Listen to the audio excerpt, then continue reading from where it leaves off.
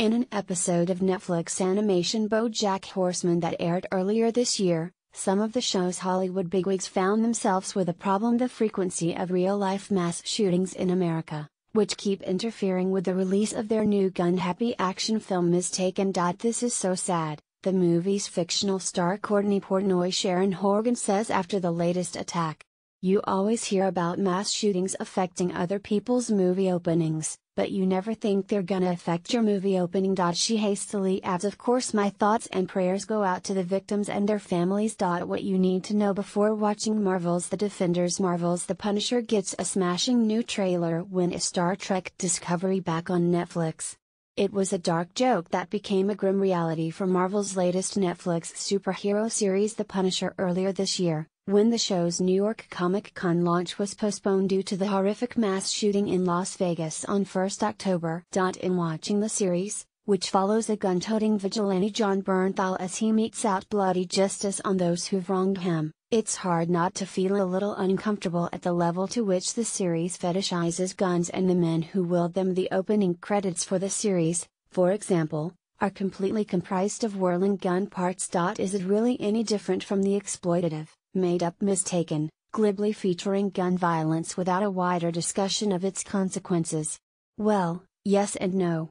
The Punisher as a series does engage with the consequences of violence, following a number of traumatized ex-soldiers aside from Bernthal's lead Frank Castle slash the Punisher as they try to reintegrate into society, and further exploring the fallout of the murder of Frank's wife and kids previously explored in Marvel's Daredevil where Frank first appeared as an antagonist and later ally in the second season. However, it also has as its central character a figure who, from his first appearance in a Spider Man comic in 1974, has been a violent, gun loving anti hero who slightly unsettlingly has become an icon to police officers and army servicemen around the world, a starting point that would be uncomfortable at any time but feels especially awkward now. Frank's a complicated character and a complex character, and I think violence is a key part of who he is, series creator Steve Lightfoot suggests when I bring up the gun violence issue. I think you can't tell his story without it being there,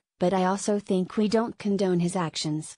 He's a difficult character, and I think we invited the audience at times to disagree with him and lose him, and all I hope is that we've created a character who's empathetic enough that people always understand and identify with him, even if they don't necessarily agree. Star Bernthal added, Look, I think one of the tragedies is that, probably when Steve wrote the show, it was probably on the heels of some other mass shooting. Gun violence in America has just become part of the fabric. And I think oftentimes in art, the best thing that it can do is spark debate, make people ask the question. And I think that's far more important than trying to answer the question for people.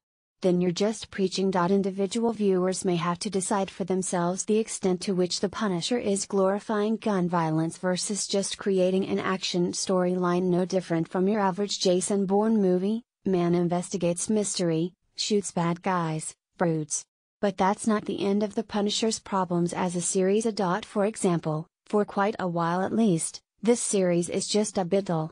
After an interesting first episode where Frank tries and fails to leave his quest of vengeance behind, he finds himself pulled back in by a hacker called Micro Ebon Moss-Bachrach.